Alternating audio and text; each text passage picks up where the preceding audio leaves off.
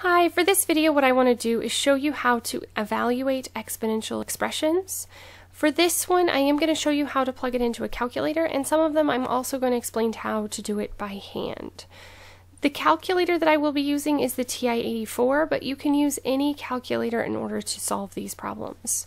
So for the first one, 3 squared, this one is very basic to do on your own. You could just do 3 times 3, which is 9, and then you would be done. If you wanted to use your calculator for this one, you would just hit 3, and anytime you're squaring, you can hit this x squared button over here, and just hit enter, and you can see that it does give us 9.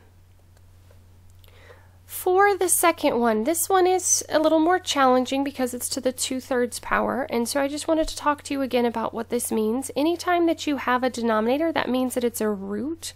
So we're taking the third root of 64, so we're trying to figure out what number would I multiply it by itself three times in order to end up at 64, and then we are squaring that answer. So the third root of 64 gives us 4, and then we would square 4, which gives us 16. So if you are struggling with doing this on your own, you can always go into your calculator and you would just put it in as 64. You would use this caret button. Uh, if it does not put it up here and it just puts a value next to it, make sure that you put it in parentheses. Because my calculator adjusted it up to the top, I don't have to put it in parentheses. So we would do 2 divided by 3, and we can see that it does give us 16. Okay, 4 to the negative 2 power. Remember that a negative exponent means it's dividing. So this is really 1 over 4 squared. So we would end up with 1 16th. So with this one, depending upon how you are asked to put your answer, if they say uh, leave it as a decimal, then you would just plug it into your calculator and put it as 0.0625. If it wanted it as a fraction, you can use the math answer as a fraction button and it will convert it into a fraction. Alright, for these, because they are both irrational answers, you are going to have to use a calculator for this one. So for this one, you would just take 3.2 and then use the caret key to the 2.14 power. Oops the wrong button. And you can see that it's approximately 12.05094082, and this will continue out forever and ever. I recommend rounding to a minimum of three decimal places.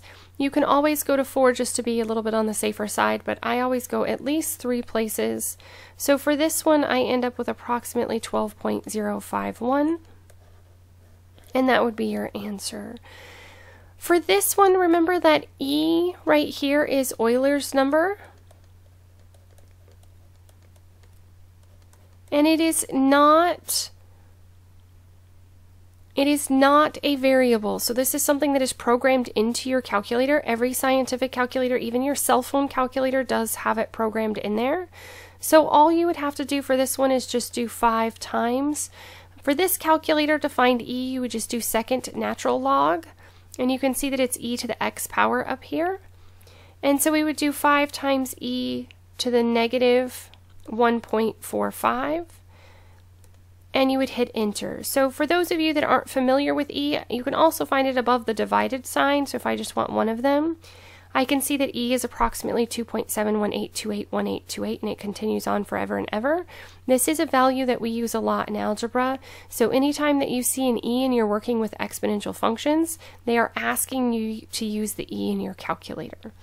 Okay, so for this one we get approximately 1.173 would be our final answer.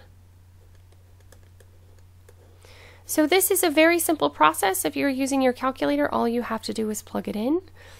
As always, thanks for watching. If you have any questions, please let me know. If there are additional topics you would like me to cover, please let me know that as well.